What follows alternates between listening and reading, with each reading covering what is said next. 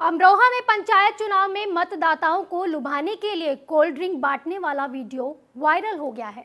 Video में प्रधान प्रत्याशी महेंद्र सिंह आचार संहिता की खूब धज्जियाँ उड़ाते दिख रहे हैं।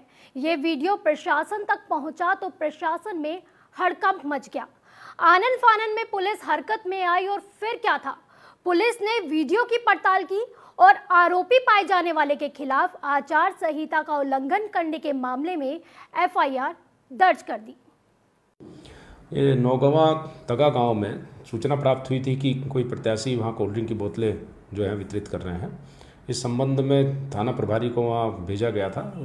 वहाँ जाने पर ज्ञात हुआ वास्तव में वहाँ एक प्रधान प्रत्याशी कुछ कोल्ड ड्रिंक की बोतलें वितरित कर रहे हैं। इस उनके द्वारा उनको जब पकड़ा गया तो कुछ बोतलें बरामद हुई हैं और वो बाट, जिनको वो बांट रहे थे। इस संबंध में अभियोग पंजीकृत कर आवश्यक कार्रवाई की जा रही है